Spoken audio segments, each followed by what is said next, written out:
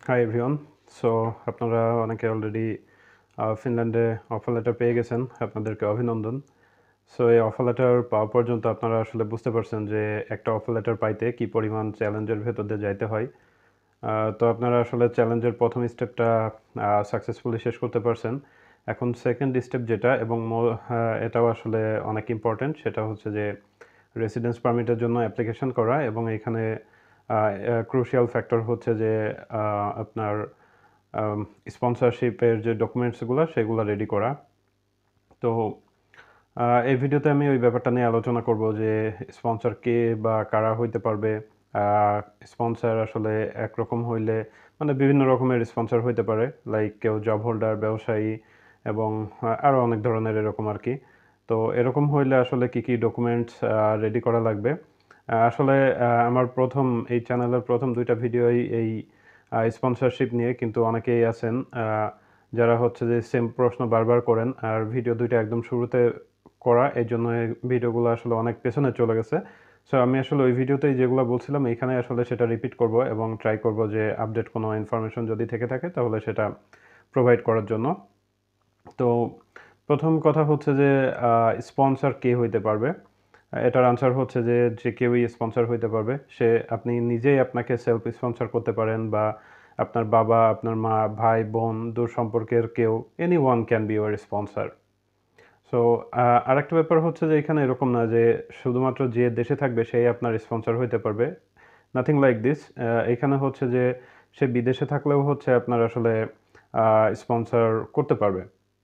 So এইখানে আসলে স্পন্সরের যে ব্যাপারটা আসে এখন স্পন্সরের যদি ক্যাটাগরি করা হয়, আমি এই, এটা আসলে মাল্টিপল ভিডিওতে আলোচনা করব যে আজকে এক দুই ধরনের স্পন্সর নিয়ে কথা বলব। এরপরে আর দুই ধরনের, তারপরে আরও দুই ধরনের, এরকম আর কি। সো স্পন্সর এরকম হইতে পারে, যিনি আপনাকে স্পন্সর করবেন, তিনি ব্যবসায়ী হইতে পারেন তিনি হচ্ছে যে জব হোল্ডার হইতে পারেন যে কোনো টাইপের জব তারপর হচ্ছে এরকম হইতে পারে, আপনাকে জমি বিক্রি করে স্পন্সরের টাকা টাকাটা ম্যানেজ করতে হচ্ছে আপনার। অ্যান্ড অনেকের আসলে কনফিউশন থাকে এই জমি বিক্রির ব্যাপারটা নিয়ে। তো আজকে আমি এই জমি বিক্রি করে কীভাবে স্পন্সরশিপ রেডি করতে হয় এটা নিয়ে আলোচনা করব। আর এক ধরনের স্পন্সর আছে, সেটা হচ্ছে আপনার স্পন্সর হয়তো বা দেশের বাইরে থাকেন। তারপর হচ্ছে আপনার স্পন্সর এফডিআর ভেঙে হয়তো বা আপনাকে টাকা দিবেন, এরকম। তো মানে এটা হচ্ছে স্পন্সরের ক্যাটাগরি যে আপনার সোর্স অফ যিনি আপনাকে স্পন্সর করতেছেন, তিনি ওই টাকাটা সোর্স আসলে কোথা থেকে পাচ্ছেন, এটাই। সো এখানে হচ্ছে যে আমি ফার্স্ট অফ অল আজকে জমি বিক্রির ব্যাপারে বলব যে জমি বিক্রি করে এই টাকা দিয়ে আসলে কীভাবে আপনারা স্পন্সরশিপ ডকুমেন্টস রেডি করবেন। তো এখানে অনেকে আসলে বলে থাকে যে জমি বিক্রির টাকাতে নাকি রেসিডেন্স পারমিট হয় না, কিন্তু এটা টোটালি রং আইডিয়া আপনি যদি সব কিছু রাইট ওয়েতে করেন, সেক্ষেত্রে হচ্ছে যে অবশ্যই তারা আপনাকে রেসিডেন্স পারমিট দিতে বাধ্য। সো এখানে যেটা করতে হবে, সেটা হচ্ছে আমি, আপনি যে জমিটা বিক্রি করলেন, এই জমি বিক্রির যে ডকুমেন্ট যাবতীয় ডকুমেন্টস যেগুলো থাকবে, সেগুলো আপনাকে এম্বাসিতে সাবমিট করতে হবে। তো এখানে যেটা হচ্ছে যে আপনার ডকুমেন্টসগুলো যদি বাংলায় থাকে, তাহলে অবশ্যই সেগুলো ইংলিশে কনভার্ট করে নিতে হবে। আর ইংলিশে যখনই আপনি কনভার্ট করবেন, তখন হচ্ছে যে, কোনো একজন উকিল বা অ্যাডভোকেট যিনি হচ্ছে যে নোটারি করেন, তাকে দিয়ে এটা ট্রান্সলেট করিয়ে দেন ওটা হচ্ছে যে ওনাকে দিয়ে অ্যাটাস্টেড করাই নিতে হবে।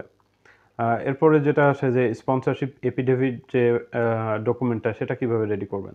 এই এফিডেভিট ডকুমেন্টটাতে হচ্ছে যে আপনি যেটা করবেন, সেটা হচ্ছে যে ধরেন জমিটা যদি আপনার নামে থাকে তাহলে তো ওকে বাট যদি আপনার বাবার নামে বা অন্য কারোর নামে থাকে, সেক্ষেত্রে স্পন্সরশিপ এফিডেভিটে আপনার অ্যাজ ইউজুয়াল ইনফরমেশন দিতে হবে যে উনি কে, উনি আপনাকে কেন স্পন্সর করতেছেন। তারপর হচ্ছে যে উনি কত টাকা আপনাকে স্পন্সর করতেছে এবং আপনি এইখানে যে পড়াশোনা করতে আসবেন, সেটা সমস্ত দায়ভার ওই জমি বিক্রির, জমির ওনার যিনি ছিলেন, উনি নেবেন। এইগুলো দিয়ে একটা স্টেটমেন্ট দেওয়া এবং দেন ফাইনালি হচ্ছে যে একটা এফিডেভিট রেডি করে নেওয়া, সেই অ্যাডভোকেটের থেকে একটা সাইন নিয়ে নেওয়া, এরকম আর কি। অনেকেই যেটা করেন যে একশো টাকা বা দুইশো টাকার যে স্টাম্পগুলো আছে, সেগুলো ইউজ করেন বাট আমি মনে করি যে এত টাকা খরচ করার আসলে কোনো দরকার নাই। আই থিঙ্ক পঞ্চাশ টাকার স্টাম্পগুলো এনাফ আমি নিজেই পঞ্চাশ টাকার স্টাম্প ইউজ করছিলাম। তো এটা একটা চলে গেল আপনার স্পন্সরশিপ এফিডেভিটের যে ডকুমেন্টটা এখানে আর একটা হচ্ছে অ্যাডিশনাল ডকুমেন্টস আপনি রেডি করবেন, যেখানে হচ্ছে যে উল্লেখ থাকবে যে এই জমিটা আপনি কবে বিক্রি করছেন, কত টাকায় সেল করছেন। দেন হচ্ছে যে আপনি এই টাকাটা কোন ব্যাংকে রাখছেন, এটা। এগুলা দিয়ে হচ্ছে একটা ডকুমেন্টস আপনি রেডি করবেন। দ্যাটস ইট আর কোনো কিছুই আসলে এখানে লাগতেছে না। এখন কথা হচ্ছে যে, আমরা তো জানি যে যিনি স্পন্সর করবেন, তিনি হচ্ছে যে আপনার টাকাটা আই মিন ওনার একটা ব্যাংক অ্যাকাউন্টের স্টেটমেন্ট লাগবে বিগত ছয় মাসে। তাহলে এই জমি বিক্রি করলে যেটা আপনি করতে পারেন, সেটা হচ্ছে যে, সরাসরি টাকাটা হচ্ছে যে, আপনার স্পন্সরের অ্যাকাউন্টে রেখে ওটা আপনার অ্যাকাউন্টে ট্রান্সফার করে নিতে পারেন।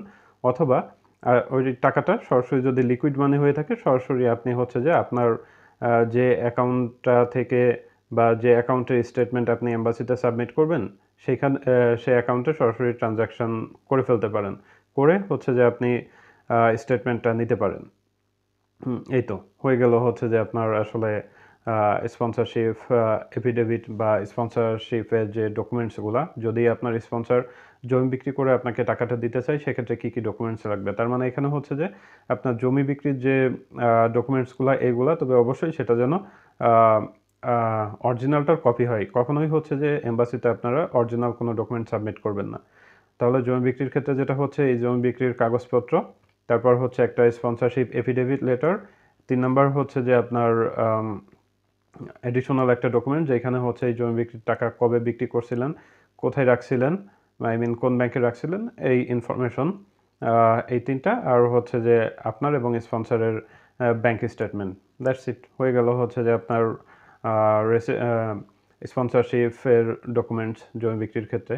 এরপর আর একটা আসে সেটা হচ্ছে যে স্পন্সর যখন বাইরে থাকে, তখন কি হয়?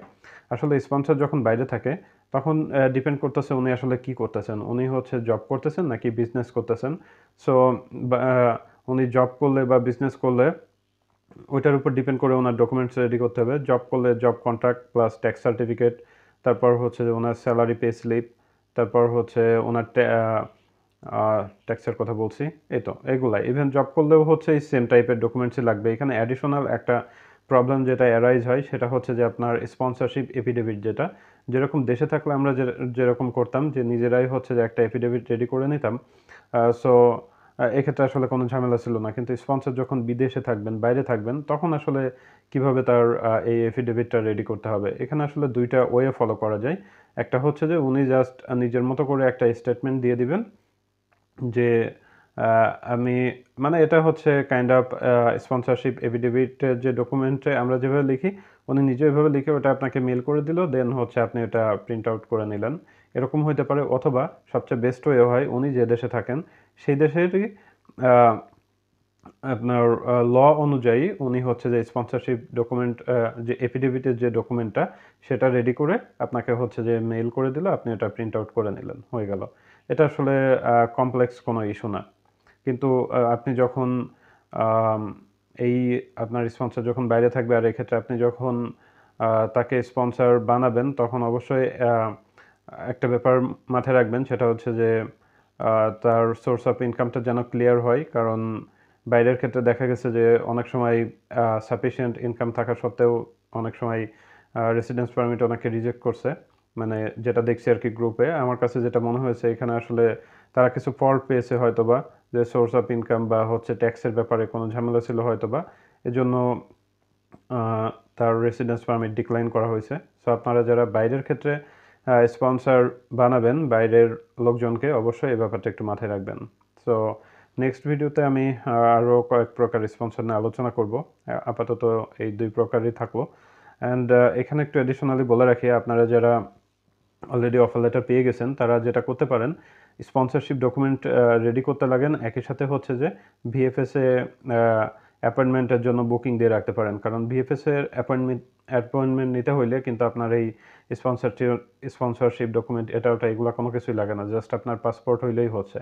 সো আপনারা এটা করে ফেলতে পারেন। ইন দ্য মেন টাইম হচ্ছে যে স্পন্সরশিপের ডকুমেন্টসগুলো রেডি করতে পারেন। হোপফুলি এটা আপনাদের কাজে দিবে আগে আগে অ্যাপয়েন্টমেন্ট পেতে। সো আজকে এতটুকুই। আপনাদের আর কোনো কিছু জানা থাকলে কমেন্টে জানাইতে পারেন। I will try to answer